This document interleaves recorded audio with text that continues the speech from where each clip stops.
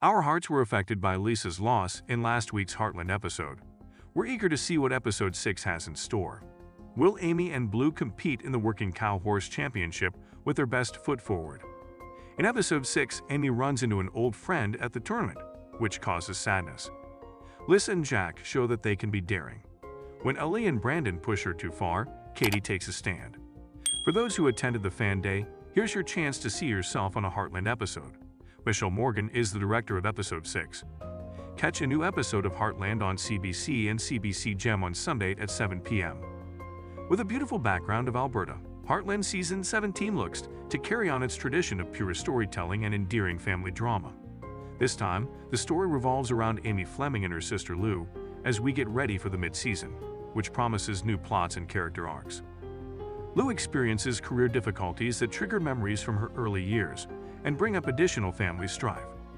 According to CBC's confirmation 10 episodes make up this season, compared to earlier seasons, which usually featured 15 or more episodes. The Heartland family, as depicted in season 17, is more aware than most that although dreams can come true occasionally, life frequently leads us in unexpected places. It's all about welcoming the unexpected in this new season. It's all about trying new things and going down less traveled paths. The Bartlett Fleming family will be eager to take on new experiences, connections, and challenges in season 17.